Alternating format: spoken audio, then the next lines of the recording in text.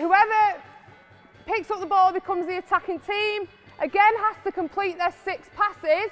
Once they complete their six passes, we then want the attacking team to then break up the court and get the ball to the halfway line for them to score their point. Five, they're going to break out. Six, what are we doing to stop this? Halfway, gotta get it to halfway. We're starting to think about holding them there for six passes maybe. Okay, do we relent and let them pass three times and then shut them down? Do we all fall back in here One, and try and pick them off here?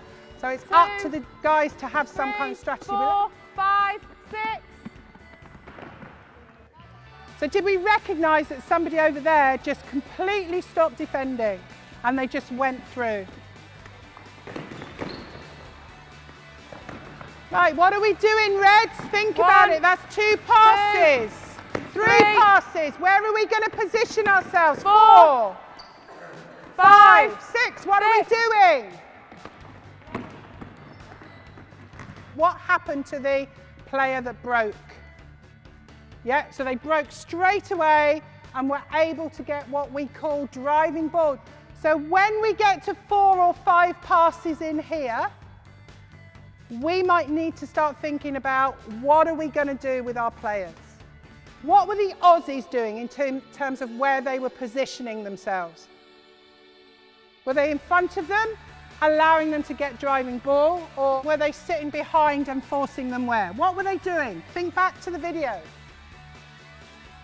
They were forcing them wide and they were forcing them high. They certainly, because we haven't got any back defenders at the moment, were being in front and allowing the Kiwi to get driving ball. Last time, so whoever's on defence, let's think about that. One, think about when we get two, to four or five passes, what we might do.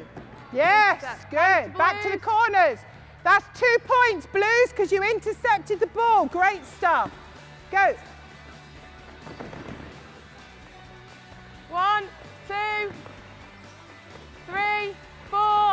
You keeping them? Where are you keeping them?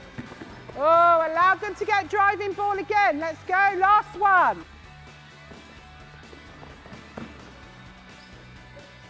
One, two, three, four, five, six. We're using it for defence. You could turn it on its head and use it for attack in terms of options coming out from the attack. Yeah. In that instance, you might do it in the mid-court and break towards the circle. We obviously did it from there because we're going to break out. Again, we keep that on that, let them run for three or four points, talk about it. We might take them back out to a skill, put them back in it. We might actually show them the video again because I think that could have been useful. Because, I don't know if you noticed, but fatigue, they've completely forgotten about the video. So we might show them that. We might draw draw the setup on the, on the whiteboard for them to do.